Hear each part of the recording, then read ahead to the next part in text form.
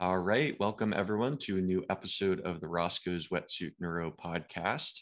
Glad you guys are tuning in today. If you guys have any comments, questions, or suggestions for guests that you'd like to see on the show, feel free to shoot me a DM on Instagram at Roscoe's Wetsuit Neuro, or you can email me at Roscoe's Wetsuit Podcast at gmail.com. On today's show, I'm super excited. We have Dr. James Maddux on the show, and we're going to introduce James in just a sec. But first, he is going to tell us why we should tune into the show today. Sure. Uh, thanks, Toby. Uh, today's topic will be the, the topic of self efficacy, and self efficacy is a very important component of what is known as self-regulation or the ability to basically get done things that you want to get done, how to set goals, how to organize, how to develop plans, how to organize your time. And uh, most people who are busy, people with busy jobs, uh, have difficulty getting done the, all the things they want to get done. And often that is through failures of self regulation. Um, so we'll be talking about self efficacy specifically, but more broadly about the issue of self regulation. Again, how to organize your own behavior, organize yourself to um, accomplish things in life. And that seems to me to be a pretty important topic. Um, so that's that's what we're doing today. This is the Roscoe's Wetsuit Neuro Podcast, the neurohacking show where we teach you how to optimize your cognition. Keep up to date at roscoe'swetsuitneuro.com. Now here's your host, Toby Passman. And to give you guys just a bit more of a background on uh, Dr. Maddux, he is a university professor emeritus in the Department of Psychology and senior scholar at the Center for the Advancement of Well-Being at J- George Mason University in Fairfax, Virginia. He's also a fellow of the American Psychological Association and the Association for Psychological Science. So, Jim, super excited to have you on the show with us today. Great, me too. So, tell me a little about just kind of you know your your uh, introduction to the field of psychology and, and how you eventually got into this the the area of psychology in which you became a real expert in? Well that's a long story. I was actually let's see a it was the summer after my first year in my uh, doctoral clinical psychology program at the university of alabama. And it was a course we were taking in social psychology. And one of the articles that was assigned to us was an article published by Albert Bandura in 1977, where he introduced the notion of self efficacy and described some research he had done and talked about why it was important. And it uh, just caught my attention. And I began doing some research on self efficacy as a graduate student, continued that as a faculty member and I have followed the research over the years and just find it to be a really interesting topic, but also a very practical topic because again, as I said, uh, self-efficacy is an important part of self-regulation uh, and self-regulation is a skill that can be acquired and learned uh, and self, self-regulation is important in helping people accomplish things they want to accomplish. And it just struck me as something that was uh, theoretically interesting and eminently practical.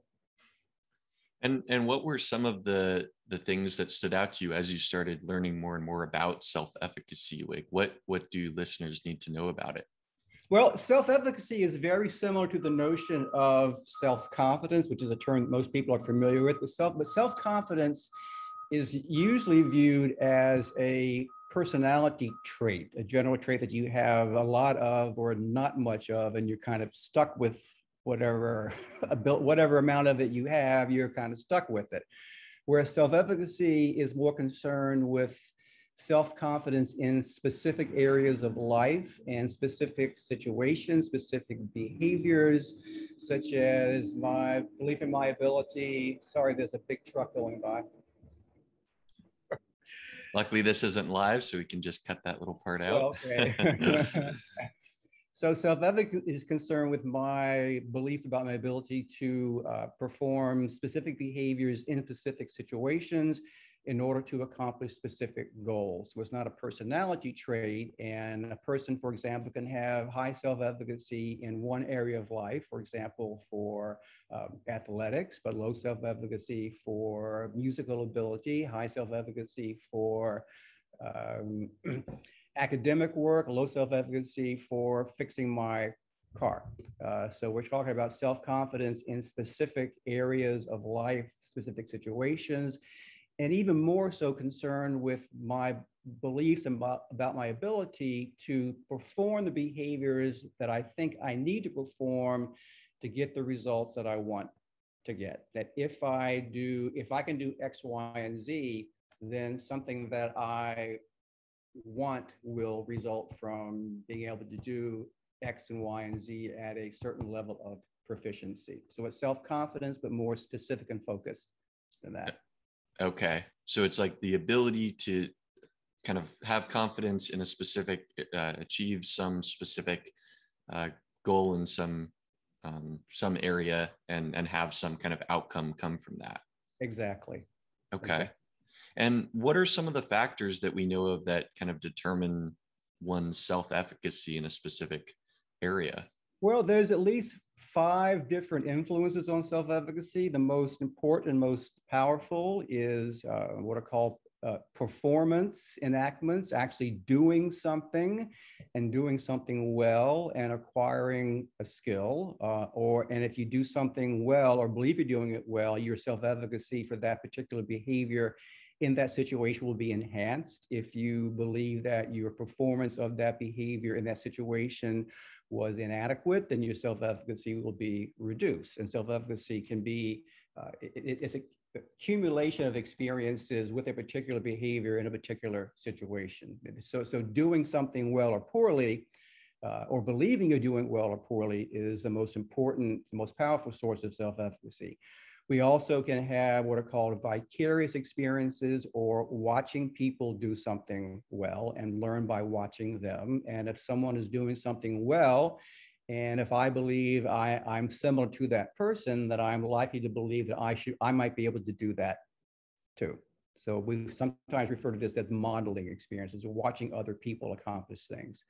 There's also verbal persuasion or having people give you a little pep talk telling you that they believe that you are capable of, uh, of, of, performing this or doing this, or pro- providing an opposite end discouragement saying, you know, I don't think you ought to try that because you probably, that's, that's probably, that's probably not going to work out for you. So those verbal attempts at verbal persuasion from other people, other important people in your life can also be, can also influence self-efficacy.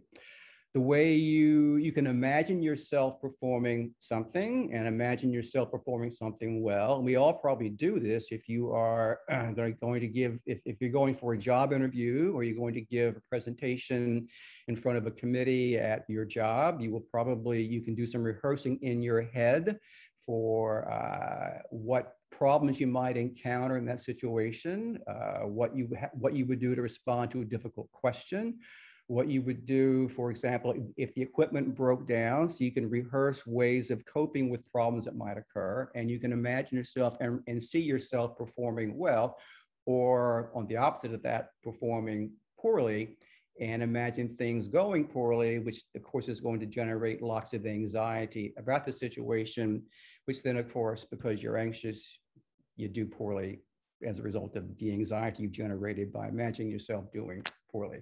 We also pay attention to what's happening inside, to our bodies, to our emotions. And if in the middle of doing something important, such as um, a job interview, giving a talk, um, a musical performance, an athletic performance, if you if you start keying into uh, bodily sensations and misinterpreting them as indications that you are anxious or worried, then that can interfere with the performance and lead to a, a diminishing of your self-efficacy beliefs for that performance. So we've got at least five different factors come, going into this. Again, the most powerful is actually doing something and believing that you are doing it well and having a sense of success. So what are what are some of the differences in uh, performance outcomes, say in two different individuals, one with a high level of self-efficacy versus an individual with low self-efficacy who maybe have the same uh, same skill set in that area? That's a great question. This is where the issue of self-regulation comes in, and and and again, self-efficacy beliefs are important because they do tie into the system of self-regulation. One of the things we know from research is that people who have higher self-efficacy for a particular area or performance actually set higher goals to themselves that if I feel confident in my ability to do something well, I'm likely to set the bar a little bit higher than someone who has less confidence than I do in my in their ability to do it well. It's also important in that uh, if we have higher self-efficacy, we're more likely to develop um, effective plans, and plans are important. And plans involve, of course, setting sub goals and and steps along the way to get us to where we want to go. It's particularly important when people encounter challenges along the way. Anything important that you want to accomplish is going to be probably going to be difficult at times.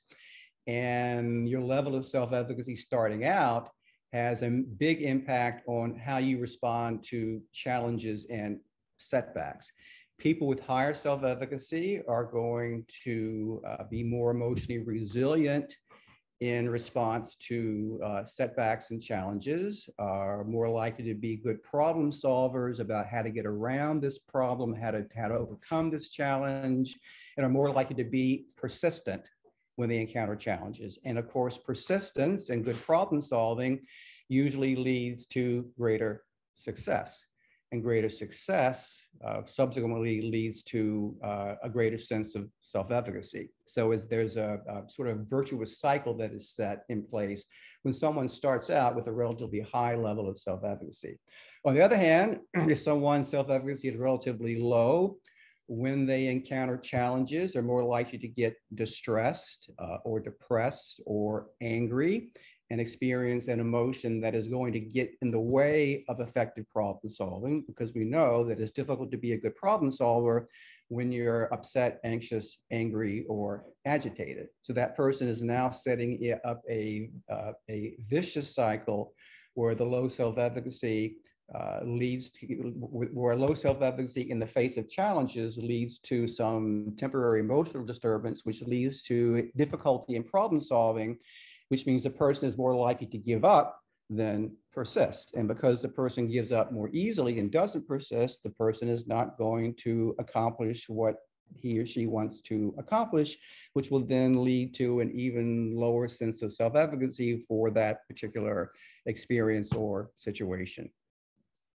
So, this is reminding me a lot of like flow state sort of psychology, like Mihaly Csikszentmihalyi sort of stuff, mm-hmm. where where he mm-hmm. talks about that uh, that sort of graph, right, between where there's like on the what is it, the x-axis, I think it's difficulty, and the y-axis is skill. So it's right. like if if something is if a challenge is is too difficult for your level of skill, you're going to perform poorly, which is probably going to reinforce a lower self-efficacy that you're not you're not capable of, of doing that. Whereas if it's too easy, um, you might just get bored.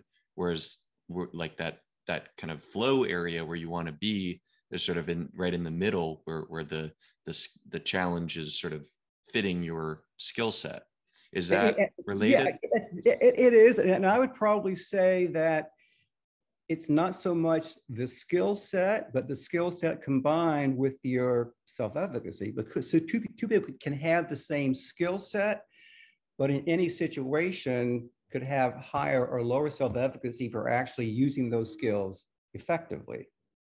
And so we need to include not just what a person is capable of doing, which is the skill set, but what a person believes he or she is capable of doing with those skills in this particular situation. And we've okay. all probably in life encountered situations where where we uh, we had the skill set, but something has not worked out right in this situation that has knocked us off kilter. And so we temporarily lose our sense, lose our self-confidence and our ability to, to use that skill set effectively. Okay. And in terms of like, are there proven ways that we can, uh, that people can, that we can instill self-efficacy in others, like say parents, teachers, coaches, uh, are there are there any methods where we can actually teach people to cultivate self-efficacy? Uh, yes. Um, one way is through encouragement, through verbal persuasion. But even more important than that, uh, and you mentioned that you are taking a certification in in in coaching. Correct. And a coach, by definition, whether it's um, an athletic coach or a musical coach or a life coach, is someone who we assume knows a little something more about this particular topic or skill set than the person who is being coached. And the coach's job is to observe, to listen, and to give specific feedback on how the person can improve his or her performance. So it's not just a coach doesn't just say that was great or that wasn't uh, that wasn't so good, but a coach uh, or uh, whether it's musical or athletic or, or, or anything says, so here's what I think you can do to improve your performance. Here's a way to improve your backhand. Here's what you might do if you want to improve your uh, uh, uh um, the, the, way you play this part of Beethoven's Moonlight Sonata. So a specific feedback about specific skills as opposed to just saying, wow, that was great. It's that was great, that was better because here's what you did differently. That's what people can do. And, and very often, I think what, what parents often forget, or what we often forget if we are managers or supervisors, is we tend to rely on, hey, that was good, or hey, that wasn't so good, as a, or simply, hey, you need to try harder, as opposed to, so here's what I think you could do to make that performance just a little bit better. So it needs to be specific, specific feedback about specific behaviors, not just cheerleading.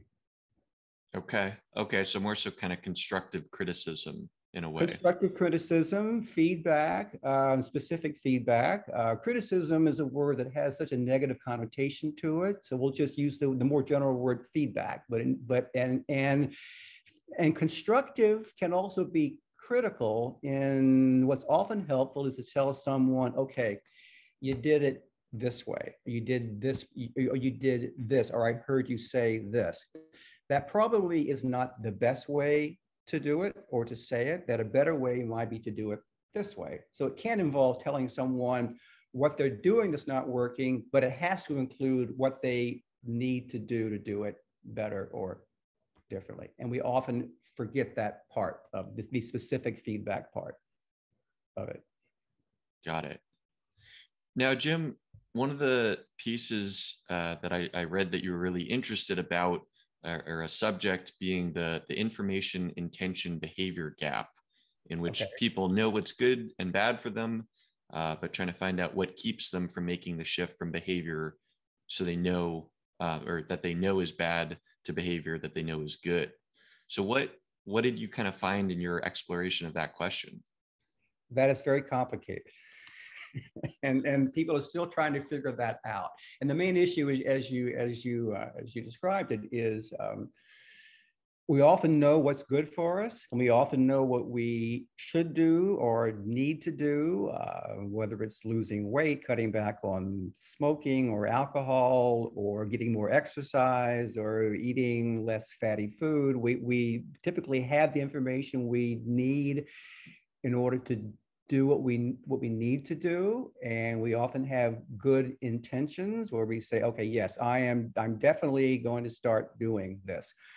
Where we often fall down is not having specific plans for how to implement those intentions and self-efficacy is an important component in helping us follow through, uh, close the gap between intent, between intending to do something and actually doing it when the situation arises. And there's one particular uh, skill that has been shown by quite a lot of research to work is the formation of what are called implementation intentions, which is a fancy way of simply saying, think about situations in which you are probably going to have an opportunity to try out this new behavior or to try to change a behavior you want to change. And so you say to yourself, or write down a list of, of situations, and you say to yourself, you form the intention if I encounter this situation, or when I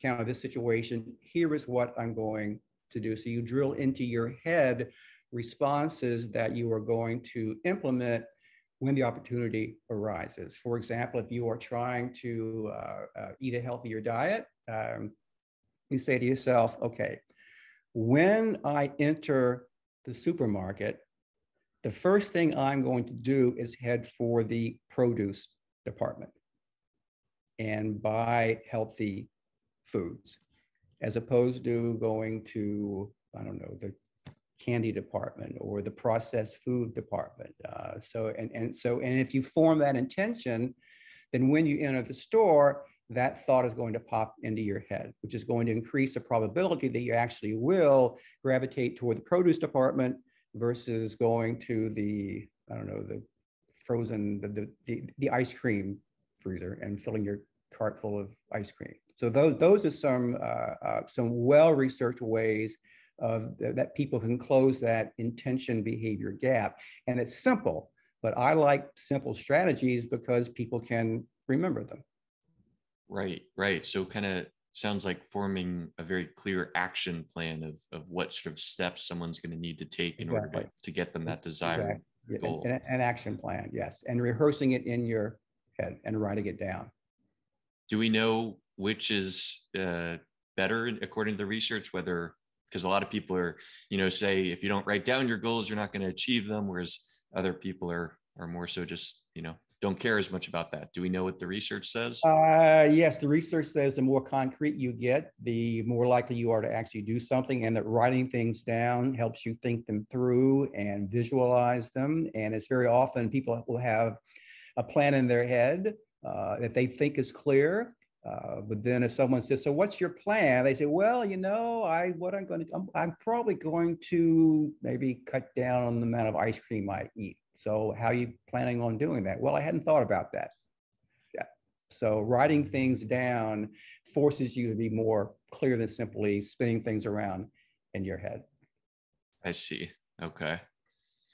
Now, I wanted to ask you about the the position of of being a senior scholar at the George Mason, Mason Center for the Advancement of Well-Being. That just the the name of that center really, you know, is, is so interesting because it's like, you know, a lot of psychology is so focused on on disorders and what's wrong, whereas right. it sounds like this whole center is kind of focused on advancing well-being. So what kind of tell me about what what sort of goes on at that at that center and, well, well it's, it's, multidisciplinary and it is based on the assumption that uh, being a healthy person uh, is more than just not being an unhealthy person. That is more that that that well-being is more than not just experiencing depression or anxiety or other problems, but uh, taking what you, uh, taking your abilities and trying to maximize them, uh, developing resilience. So trying to put yourself above a normal level of sort of boring, um, boring, I'm not unhealthy, but I could be doing better and thriving better in life. It's all it's it's very much tied into the so-called positive psychology movement, which again is, as people probably have, if, if you've read about this, is concerned with uh, not just with, with alleviating suffering in in people, but helping people to uh, to thrive and and to uh, uh, to be uh, happier and more content and developing resilience, which is where I think self-regulation comes in, because people often have have the difficulty uh, thriving in life because they have difficulty getting themselves organized and, and accomplishing things that they would like to accomplish in life. And in, in terms of like self-regulation, the, the first sort of study that comes to my mind is like the marshmallow test, right? Where it's, you know, testing uh, children's ability. Right. To, you're thinking of um, Walter Mischel. Right. Right. Testing whether a, a, a child can either uh, if they're going to go for the one marshmallow right away or if they can hold off for uh, 30 minutes or whatever it was in order to get uh, multiple marshmallows and they, right. they saw that that actually predicted very well like people's uh, like these kids success as they got into adulthood in terms exactly. of their, their self-regulation. Exactly. And I so, think more importantly, what those studies showed is that those children employ specific strategies and they could describe specific strategies they used to delay gratification. They would say they would say things like, "Well, okay, so I decided if I closed my eyes and couldn't see the marshmallows, then I wouldn't want to eat them. Or if I closed my eyes and sang a song to myself, then I wouldn't be thinking about the marshmallow. So the kids who were able to delay gratification employ specific strategies. And self-regulation is about, here's where part of the confusion is that I think what, what Walter Mischel did well is help point out the distinction between um, self-regulation and willpower. And people tend to view willpower as a personality trait that you have a certain amount of that's fixed and either you have enough of it or you don't. And so we say, well, I can't lose weight. I don't have enough willpower. Boy, he lost 10 pounds. He must have a lot of willpower, which means it's something about him, something he has that I don't have. And I think what Walter Mischel's study helps show is that self regulation is not a personality trait, but it is a set of skills that can be taught and learned. These kids employed a each each one employed a very very specific but simple self-regulation strategy, and which is why it's better and more effective to view forget about willpower as a personality trait but think about self-regulation as a set of as a specific set of skills that can be taught and can be learned and can be enhanced through practice just like any other set of skills. And people get stuck thinking you know i don't have enough willpower. And that becomes the excuse for not doing something but if they switch, if they turn a switch and think about self-regulation and maybe do some reading about self-regulation and maybe mm-hmm. see a life coach who can help them get themselves organized and self-regulate, then they're going to stop thinking about me as a person without willpower and me as a person who has who is developing better self-regulation skills. So there's a huge difference in, in that kind of thinking. Right. A big paradigm shift there and it, and it sounds like the the strategies that you were talking about just like the self-regulation strategies of like you know how those kids were able to avoid eating the marshmallow i mean it sounds pretty similar like to what we were talking about before with the example of someone wanting to eat healthier and them kind of telling themselves okay i'm gonna i'm gonna just go to the specific area of the grocery store the the, the vegetable section where where i'm gonna kind of be able to um, get the foods that are to help me accomplish that goal so there seems a lot of similarity there. I mean, for example, if, if I have um, snack foods in the house, if I have cookies and chips, um, my self-regulation kind of goes out the window and I, exercise, I exercise my self-regulation at the grocery store. And I, I simply don't buy the stuff and therefore it's not in my house because I, I understand myself well enough to know that my self-regulation abilities for purchasing things in the store is much better than it is for having it at having for not eating the stuff when I have it at home. So part of it's knowing your own strengths and weaknesses and uh, capitalizing on those. Now, when it comes to say like peak performers, people, you know, pro athletes, business executives, um, does willpower have a role to play? Uh, like in, in say, you know, what separates kind of the, the top of the field, the, the Kobe Bryants, the Michael Jordans, you know, because I, I think to myself, like, okay, this is someone, you know, who, who goes to the gym every single day, four in the morning. Like you think, you think of that being very like willpower oriented, but it sounds like, you know, from what we've been talking about, there might be a lot more to it related to self-regulation. I, I totally agree. I, I, think that there's certainly an element of, of motivation and desire and drive, which isn't the same thing as willpower, self-regulation. I, I know a lot of people who are driven, but they just don't know where to drive. They just can't, they can't get themselves in gear. And so I think the Kobe Bryants and the Michael Jordans and the uh, world-class uh, uh um, uh, musicians, uh, the people who excel at anything, um, probably they have a plan And that plan includes going to the gym at 4 a.m. or going to the gym after work at 7 a.m. or putting in X number of hours a day practicing this or practicing that or reading up on this, reading up on that. So there's what you don't see. What we, what we, what we usually see is the end result. We see the tennis champion winning at Wimbledon three times in a row. We see the uh, the Steve Jobs and the Jeff Bezos uh, develop uh, building multi-billion-dollar companies. We see uh, musicians who excel. We see the Williams sisters um, uh, winning uh, tennis tournaments. What we don't see is the years and years and years of planning and practice that went into that. So we tend to, I think, give too much credit to uh, um, innate talent and not enough credit to a person's drive and motivation and the hard work they put into developing those skills, including developing their self-efficacy for those skills. Okay, that makes a lot of sense. There, there is a there's there's what's called the uh, 10,000 hour rule, and that's a, a, rough way of saying that, that if you want to get really, really good at something, um, it's going to take about 10,000 hours of practice to get to get really to, to really excel at it. If you if you look at uh, the fact that Tiger Woods began golfing at age four, I think, and the Williams sisters began playing tennis at age five or six. Uh, Paul McCartney and John Lennon began writing songs at 15, 16 years old. And after about 10 years, they got really good at it. Uh, so uh, we're talking about put, applying your craft uh, um, with diligence and over time, um, getting feedback and uh, correcting and persisting, developing self-efficacy. Um, and the end result after that usually is being pretty good at something as opposed to blaming your inability to do it on the fact that you just don't have the innate talent to do that, which I don't usually buy into.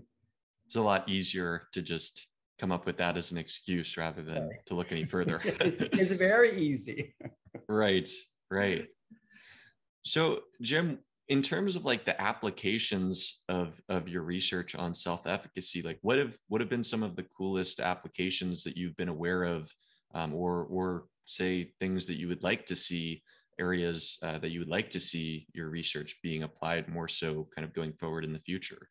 Well, I think one of the most important and, and exciting um, developments and exciting uses of it is in psychotherapy and what is called cognitive behavioral therapy. And cognitive behavioral therapy is a is a type of therapy that is not concerned with trying to reconstruct your past, with trying to find out what happened to you at age five or six or seven that made you neurotic or made you t- uh, uh, prone toward depression or made you prone to be an angry person, but looking at specific situations in your life uh, that aren't working well for you uh, looking at specific goals you would like to accomplish in life that you aren't accomplishing, whether it's uh, improving a relationship, whether it's uh improving your performance at work, whether it's uh, um, managing your social anxiety better, whether it's preparing for an upcoming job interview. And so the cognitive behavioral therapist uh, takes a problem apart piece by piece and helps the person understand uh, what he or she is thinking or feeling in that situation, what he or she uh, is, and how that affects the way the person behaves, and then trying to change the way the person thinks and change the way the person behaves in order to accomplish goals that the person wants to accomplish in those particular situations. So it's a very fine-grained analysis of thinking and feeling and behaving. And a major part of this, of cognitive behavioral therapy, is having the person go out and practice a new set of behaviors and a new way of behaving in order to develop confidence or self-efficacy in those new skills. For example, if a person has problems with social anxiety, the cognitive behavioral therapist may ask the person uh, to uh, say good morning to one stranger on the street each day or to, or to speak to three people in uh, in line the grocery store in a one week period uh, to learn how to, uh, uh, uh, to, to manage the anxiety, to learn that people aren't going to um, slap you across the face if you talk to them. So help the person develop the skills and develop confidence in, in their ability to implement those skills. So self-efficacy is a very important component of cognitive behavioral therapy, which has been shown to be effective for a wide, wide range of psychological problems, depression, anxiety, addictions, um, just about everything. Right, right. I didn't necessarily make that connection until you just said that, but I mean, that's awesome that kind of self-efficacy is built into what I believe is the most common kind of form of, of behavioral therapy going on right now. Uh, it's I'm, it may not be the most common, but it's the, it's the most well researched and the okay. most effective. Um, uh, it, it, hopefully, one day it'll be the most common. Okay, got it, got it. So, in terms of like kind of you know going forward, what what are you hoping? Kind of like what's what's next for you? Where are you hoping to take your your research going forward in the future? Well, um, I am retired and no longer had graduate students, so doing research uh, is difficult without uh, a place to do it. But what I what I have been doing uh, during my retirement years is keeping uh, my best to keep up with the research on self-efficacy, which gets broader and broader. And I've done a lot of until the pandemic hit. I was doing a lot of international traveling, uh, giving lectures, teaching at universities uh, in Europe and South America, uh, very often uh, uh, talks on self-efficacy, but other topics too. Um, so I'm hoping what I what I see looking forward is when I can hop on an airplane and not wear a mask, is I will start traveling again. Awesome, awesome. Well, Jim, it was a real pleasure having you on the show today. Really enjoyed this conversation. If uh, people want to find out more about your research or connect with you, what sort of resources, where would you direct them to? Well, um, I have a personal website at George Mason University, uh, which has a list of publications. It also has access to my uh, my CV, my resume, which has a list of my publications, and they're also welcome to email me. Awesome. Awesome. And I, and I can give you my email address. Okay. We will. Right now. Yeah, we can do it. J M A D D U X at gmu.edu. Perfect. I'll, Perfect. I'll say it one more time. J M A D D U X at gmu.edu. Awesome. I'd be happy to hear from anyone in the audience about anything. Okay, we'll certainly include that in the in the show notes as well. Jim, last question I want to ask you, just in terms of if if someone came to you on the street and said, you know, what's what's the most important sort of piece of psychology, or what what do I need to know um, to enhance my life? Like, how would you distill kind of some of the stuff that we've talked about into, you know, kind of a, a piece of advice for someone? um, be more courageous, take awesome. more risks, get yourself out there, try something new, um, think of what you were afraid of doing, and take a stab at doing a little bit of it and seeing how it works out. Great. Yeah, so so courage. Awesome. Awesome. Well, if you guys enjoyed the show today, I would really appreciate it if you could give us a five star review on Apple Podcasts. Also, go ahead and subscribe to our YouTube channel. We're Roscoe's Wetsuit Neuro. And you can uh, listen to the podcast on any of the major audio platforms, whether that be Spotify, Apple Podcasts, or any of the others. We are on them all. Jim, I wanted to really thank you so much for coming on the show today and sharing all of your, your knowledge and expertise expertise with the with the audience. It was my pleasure. It was fun.